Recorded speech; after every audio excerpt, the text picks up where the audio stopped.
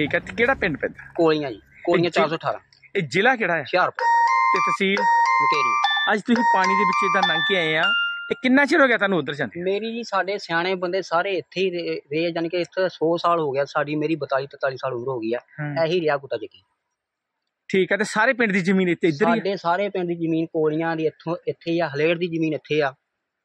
ਸਾਡਾ ਕੁਲੀਆਂ ਪਿੰਡ ਇਹ ਵੀ ਇੱਥੇ ਆ ਸਿੰਬਲੀ ਪਿੰਡ ਆ ਉਹਦੀ ਜ਼ਮੀਨ ਵੀ ਇੱਥੇ ਹੀ ਆ। ਦਰਿਆ ਤੋਂ ਦੂਜੇ ਦਰਿਆ ਤੋਂ ਪਾਰ ਹੀ ਦਰਿਆ ਤੋਂ ਪਾਰ ਇਹ ਫਿਰ ਕਿੰਨੇ ਕਿੱਲੇ ਹੋਏਗੀ ਇੱਧਰਲੇ ਪਾਸੇ? ਇਹ ਹਜ਼ਾਰਾਂ ਦੇ ਲਈ ਤੇ ਫਿਰ ਲੋਕਾਂ ਨੂੰ ਜਿੱਦਾਂ ਆਉਣ ਜਾਣ ਲਈ ਦਿੱਕਤ ਬਹੁਤ ਜ਼ਿਆਦਾ ਇਦਾਂ ਤੁਹਾਡੇ ਸਾਹਮਣੇ ਦੇਖ ਹੀ ਲਿਆ। ਤੇ ਜਦੋਂ ਬਰਸਾਤ ਆਈ ਉਦੋਂ ਕਿੱਦਾਂ ਫਿਰ ਜਾਂਦੇ ਰਹੇ ਉੱਧਰ? ਬਹੁਤ ਜ਼ਿਆਦਾ ਔਖਾ। ਉਹ ਦੇਖੋ ਜੀ ਕਿਸ਼ਤੀ ਲਾਈ ਦੀ ਆ। ਉਹ ਵੀ ਐਕਟੀ ਲੈਂਦੀ ਆ ਆਪਾਂ ਪੰਜਾਬ ਦੇ ਪੈਸਿਆਂ ਦੀ। ਅੱਛਾ ਜੀ। ਤੇ ਇਹਦੇ ਰਾਹੀਂ ਅਸੀਂ ਆਰ ਪਾਰ ਹੁੰਦੇ ਸਾਡੇ ਜਿਹੜੇ ਭਈਏ ਆ ਫਸਲ ਕੱਟ ਜਾਣੇ ਉਹ ਵੀ ਇਸ ਇਸ ਰਾਹੀਂ ਜਾਂਦੇ ਆ। ਪਰ ਉਹ ਉਸ ਕਿਸ਼ਤੀ ਤੋਂ ਥੱਲੇ ਡਿੱਗ ਕੇ ਇੱਕ ਭਈਆ ਮਰ ਗਿਆ। ਹੂੰ। ਪਰੂ ਅੱਜ ਕੱਲ੍ਹ ਹੀ। ਤੇ ਮਗਰੋਂ ਅਸੀਂ ਗੋਤਾਖੋਰ ਲਿਆਂਦੇ। ਪੈਸੇ ਆਪਣੇ ਲਾ ਕੇ ਪਰ ਉਹ ਭਈਆ ਨੀ ਲੱਭਿਆ ਤੇ ਜੇ ਕਿਤੇ ਗੰਨੇ ਦੀ ਫਸਲ ਗਈ ਗੰਨਾ ਕਿੱਦਾਂ ਲੈ ਕੇ ਆਉਂਦੇ? ਸਾਡਾ ਗੰਨਾ ਜੀ ਬਹੁਤ ਔਖਾ ਨਿਕਲਦਾ ਜੀ ਇੱਥੋਂ। ਇੱਥੋਂ ਖਾਲੀ ਟਰੈਕਟਰ ਕੱਢਣਾ ਔਖਾ ਪਰ ਕੀ ਕਰੀਏ ਤਾਂ ਅਸੀਂ 10 ਲੱਖ ਦੇ ਟਰੈਕਟਰ ਇੱਥੇ ਸਿਟੀ ਦੇ ਵਿੱਚ ਲਿਆ ਗਏ ਅੱਛਾ ਤੇ ਉਹ ਵੀ ਫੇਲ ਹੋ ਜਾਂਦੇ? ਮਹਾਰਾਜ ਜੀ ਕਈ ਵਿੱਚ ਫਸ ਜਾਂਦੇ ਆ ਬੜੇ ਔਖੇ ਨਿਕਲਦੇ ਆ ਬਹੁਤ ਔਖੇ ਨਿਕਲਦੇ ਆ। ਤੇ ਤੁਸੀਂ ਕਿਸੇ ਨੂੰ ਕਿਹਾ ਨਹੀਂ ਵੀ ਜਾਂ ਕੁਛ ਮਾੜਾ ਮੋਟਾ ਰਸਤਾ ਜਾਂ ਕਿੱਦਾਂ ਬਣਾਇਆ ਜਾ ਬੜਿਆਂ ਨੂੰ ਕਿਹਾ ਪਰ ਇੱਥੇ ਕੋਈ ਪ੍ਰਸ਼ਾਸਨ ਕੋਈ ਗੌਰ ਹੀ ਨਹੀਂ ਕਰਦਾ। ਕਿਉਂ ਨਹੀਂ ਗੌਰ ਕਰਦੇ? ਕਾਰਨ?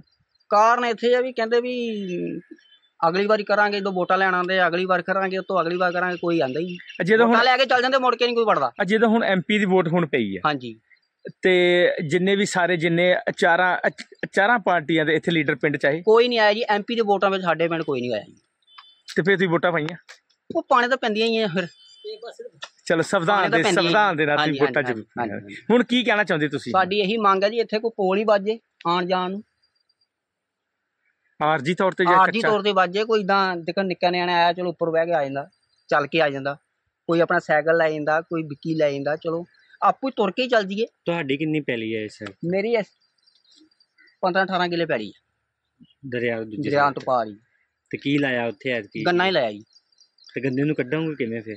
ਗੰਨਾ ਹੁਣ ਇਦਾਂ ਹੀ ਨਿਕਲਣਾ ਇਦਾਂ ਪਿੱਛੇ ਆਪਣੇ ਸਾਡੇ ਸਰਪੰਚ ਸਾਹਿਬ ਸਾਰੇ ਸਾਡੇ ਸਾਰੇ ਪਿੰਡ ਦੇ ਪਾਣੀ ਬਹੁਤ ਚੜਿਆ ਡੈਮ ਦੇ ਵਿੱਚ ਗਏ ਸੀਗੇ ਤੇ ਉੱਥੋਂ ਥੋੜਾ ਜਿਹਾ ਉਹਨਾਂ ਤੋਂ ਰ- ਮੰਗਿਆ ਵੀ ਸਾਨੂੰ ਥੋੜੀ ਜੀ ਮੂਲਤ ਦਿੱਤੀ ਜਾਏ ਵੀ ਉਤੋਂ ਆਪਾਂ ਫਸਲ ਆਪਾਂ ਬਾਹਰ ਕੱਢਦੀ ਉਹ ਫਿਰ ਡੱਕ ਲੈਂਦੇ ਰਹੇ ਆ ਫਿਰ ਅਸੀਂ ਕੱਢਦੇ ਰਹੇ ਆ ਜੇ ਉਹ ਨਾ ਡੱਕਣ ਤੇ ਫਿਰ ਪਾਰ ਹੀ ਰਹਿੰਦੇ ਰਹੇ ਆ।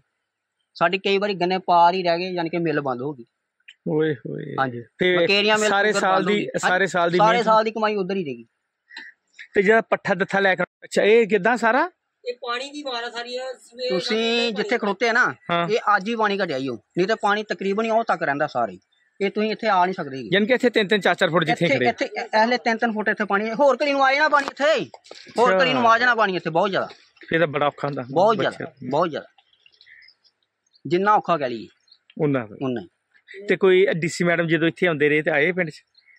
ਡੀਸੀ ਮੈਡਮ ਜਦੋਂ ਅਹ, ਆਪਣੇ ਫਲੱਡ ਪਿਛਲੇ ਸਾਲ ਆਏ ਹੈਗੇ ਉਦੋਂ ਆਏ ਹੈਗੇ ਤੇ ਤੁਸੀਂ ਦੱਸ ਉਹਨਾਂ ਨੂੰ ਕਿਹਾ? ਦ- ਦੱਸਿਆ ਹੈਗਾ ਜੀ। ਠੀਕ ਹੈ, ਉਹਨਾਂ ਮੈਡਮ ਨੇ ਮੈਡਮ ਉਹਦਾ ਚੰਗੀ ਹੈਗੀ ਹਾਂ। ਐਸੀ ਗੱਲ ਨਹੀਂ ਆ ਬਹੁਤ ਚੰਗੀ ਹੈਗੀ ਪਰ ਗਾੜੀ ਪਤਾ ਨਹੀਂ ਕੀ ਹਿਸਾਬ ਦਾ। ਮੈਡਮ ਦਾ ਚੰਗੀ ਠੀਕ ਹੈ ਜੀ, ਹਾਂਜੀ। ਧੰਨਵਾਦ।